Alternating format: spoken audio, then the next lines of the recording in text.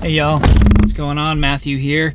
I am uh, loading up the van right now, headed to Wichita, Kansas. I swear I'm always going to Kansas for these guitars, but found this really cool, it looks like the definition of a barn find vintage Gibson guitar from the 1950s. One of my favorite guitars of all time. And uh, I'm going up there now to buy it. Uh, it'll take a couple hours, so I'll show you guys the scenery and we'll check out the guitar, see what the story is, bring it back home, hopefully try to get it playing and see how it sounds. So uh, let's hit the road.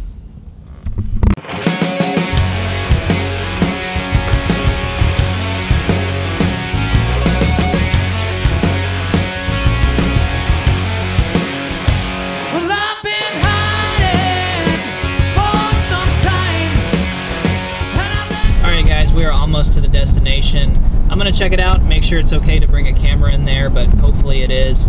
Uh, if you enjoy these old guitar hunting videos, please consider subscribing to my YouTube channel here, and thanks to everyone who tunes in. Uh, I want to give a quick shout out. Thanks to everyone who's listened to my new album. It just came out last week. Thank you to those who have downloaded it, streamed it, bought the CD and the vinyl. Can't wait to ship it out to you guys. But uh, keep listening, keep streaming it. Really helps, goes a long way. So let's go ahead and check this old guitar out. Back to life, man. That's That is crazy, man. I'm, s- I'm you know I'm sorry for to have to give you this. Uh, Look at that. So you you said your boss, it was your boss's or something? yeah, I asked him if I could buy it from him, and he and he just see that's where the crack is. But Yeah, sure enough. Okay. um, he said I I asked him if I could buy it from him. I didn't realize it was worth anything, honestly. And then Right. I, I looked it up. I'm like, man, this thing looks really old, and I'm like, man, it's got to be worth something, you it know. It does look old, man. The paint just just And- flakes off whatever's left of it. You know. And I guess this is like a a pretty uh, uncommon, like a rare thing. That was is this the that's that's the original tailpiece. That's that's how they came. It's it's super low to the body. It's it's it's probably because the neck is is lifted off a little bit. So got a little bit of life left in Uh, him? yeah, right. I don't know what this guy tried to do here, but Man, he he rigged it up, dude. That is insane. he obviously was a was a was definitely liked the guitar and wanted to keep playing it though. He, he tried to make it keep working. Right. So I, I took this off um, just just a minute ago just to see if I could catch a serial number on the back of it. Uh huh. because the dude had told me that that was what to look for. Right. because I couldn't, you know, there was. Yeah, it should be up there, nothing. but it's gone. But you can see that Mm. it says it's got the Gibson Les Paul right there. Yeah, still does. That's surprising, huh? It is, man. um, Cool, man. yeah, man. If you could bring it, bring this back to life, I want to see it. Like, Yeah. You got my, I mean, you got me on Facebook. You got my number. If Sure, you could. man. Well, here she is, guys. I got to make my way back to Oklahoma and see if this thing will play. It's not looking good. Uh, of course, all the paint is is flaking off. There's really nothing I can do. Uh, this is about as rough as it gets in terms of condition.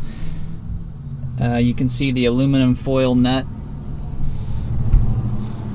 That's a first. And then on the back, as the paint flakes, uh, we have a terrible heel repair. This is really bad. Uh, so yeah, we'll get home and see what we can do, but it's a little scary. But this is a 1950s Les Paul Jr. This is a really desirable guitar. In fact, this is one of my favorite guitars of all time. Single pickup Junior with the single cut. So let's get it home and uh, we'll see what happens. Okay, it's been a few days. I got in late from Wichita that night and couldn't finish the video. Honestly, didn't know what I could even do with this guitar because the condition is so bad, but I think I've got a plan now. What we can do is plug the guitar into an amplifier, see if the pickup makes noise. If it does, then I will put some new tuners on it because the the buttons are completely rotted away. And then I will put a new bone nut on it and string it up maybe in D standard or some really kind of low tuning and just play a few chords, see if, see if it works. Um, you would not normally want to do that with a guitar like this with a very, very bad repair and with the cracks that it's got. But if I don't make YouTube videos, then I go back to a nine to five job. So let's plug it in and see if we got noise.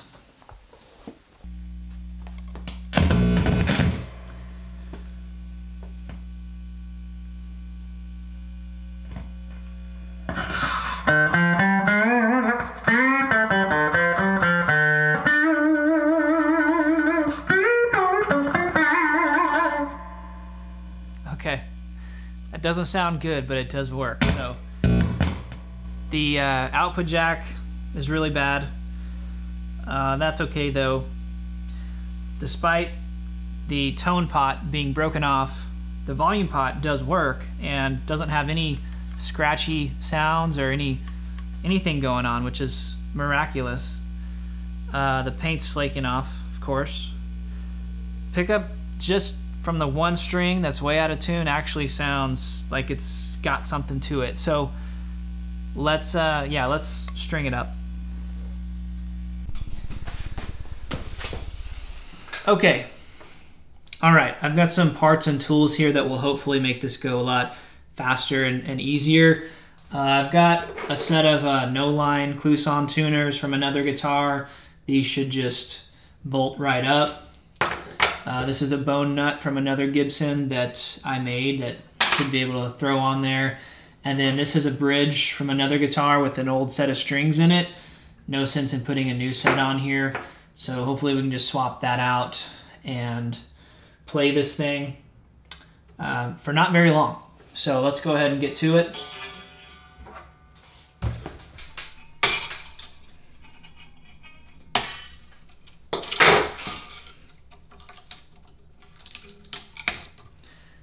These strings are so rusty. God only knows how long they were on here. Ugh.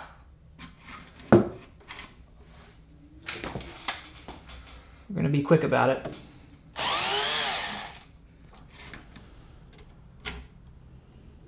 Okay.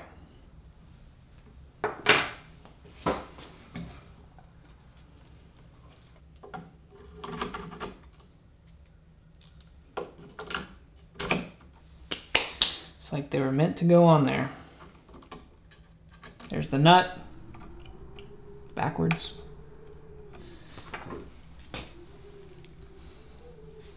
Hopefully this bridge will fit.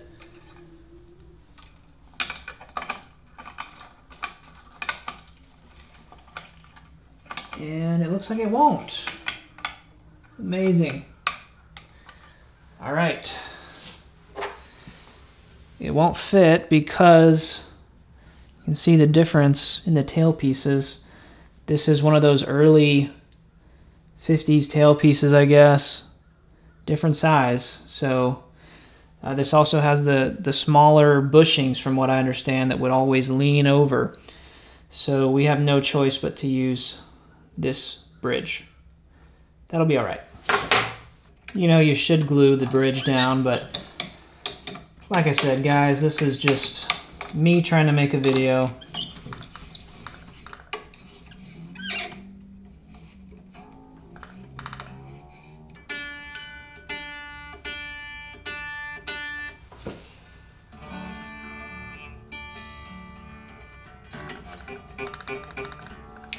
All right, this is gonna play terrible, but let's go give it a shot. All right, guys, uh, the tuning is is really bad. The the action is crazy high. It's it's at least half an inch at the 12th fret. The uh, output jack is about to fall out of the guitar, but it is a 1950s Les Paul Jr. and it does have a magic sound. So here it is. This is the best I can do.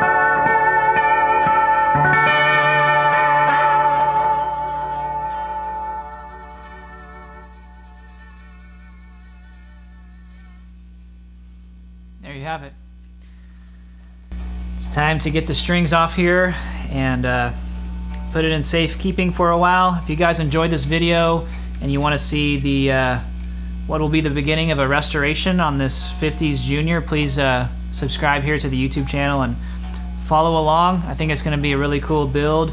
In the next episode, what I'll do is take this entire guitar apart and try to date it. So it would have had so it would have had a serial number on the back of the headstock, but all the finish is just about flaked off the guitar. So what we'll have to do is take a look inside of this control cavity here and date the guitar by the pots.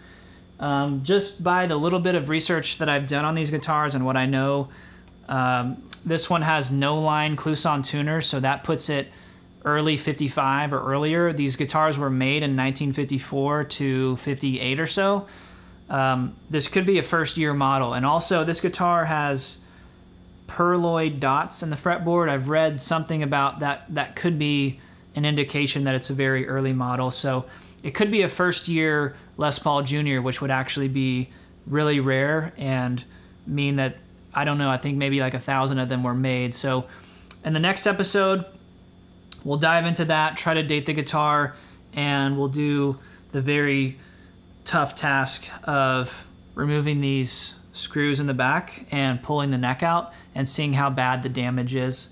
And then from there, uh, we'll take it one step at a time and do some fret work, get the neck back in there, um, locate a few parts, and actually, I think this tone pot is actually turning. Amazing. So, that's the plan for the next episode. Hope you guys enjoyed this video and this 50s Les Paul Jr. Another old guitar hunting episode. Thank you for watching. See you guys in the next episode. Peace.